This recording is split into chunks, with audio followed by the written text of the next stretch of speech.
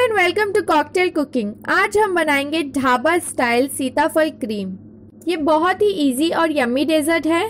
सीताफल इसे हिंदी में कहते हैं, लेकिन अंग्रेज़ी में इसे कस्टर्ड एप्पल कहा जाता है. फ़ेमस सीताफल क्रीम बनाने के लिए हमें चाहिए सम आइसक्रीम सीताफल का पल्प या गूदा, वो चाहिए हमें, और शुगर और थोड़ी विप क्रीम तो चलिए बनाना शुरू करते हैं.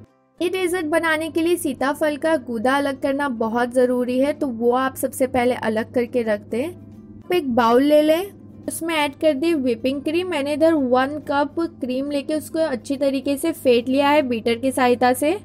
वो आप उसमें ऐड कर दें, फिर क्रीम ऐड करने के बाद आप उसमें ऐड कर दें आइसक्रीम मैंने 500 ग्राम आइसक्रीम ऐड की है। फिर आप उसमें ऐड कर दें three tablespoon powdered sugar.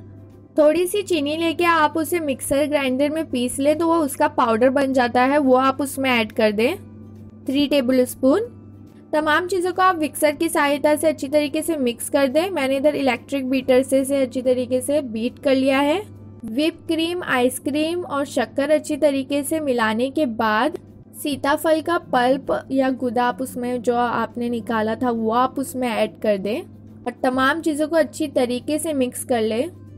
मीठा कम ज़्यादा आप इसमें कर सकते हैं। अगर ये चार चीज़ें आपके घर में मौजूद हो, सीताफल, आइसक्रीम विप क्रीम, शक्कर तो सीताफल क्रीम बनाना कोई मुश्किल बात नहीं, कोई भी इसे बना सकता है। ये बहुत ही इजी फास्ट और डिलीशियस डेजर्ट साबित होगा।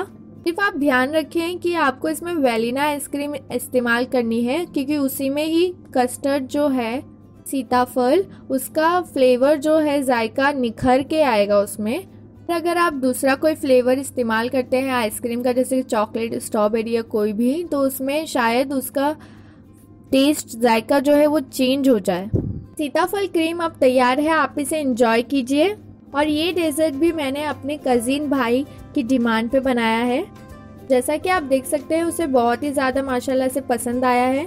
अगर आपको ये रेसिपी अच्छी लगी तो आप इसे ज़रूर लाइक शेयर करें और कमेंट बॉक्स में आप अपने डिमांड्स और सजेशंस हमें बता सकते हैं। हर रेसिपी के इंग्रेडिएंट्स और मेजरमेंट्स आपको नीचे डिस्क्रिप्शन बॉक्स में मिल जाएँगे, आप चाहें तो चेक कर सकते हैं। और भी ज़्यादा आसान, बेहतरीन और मज़ेदार रेसिपीज़ के लिए हमें ज़रूर सब्सक्राइब करें। खाइए, खिलाइए, दुआओं में याद रखिए।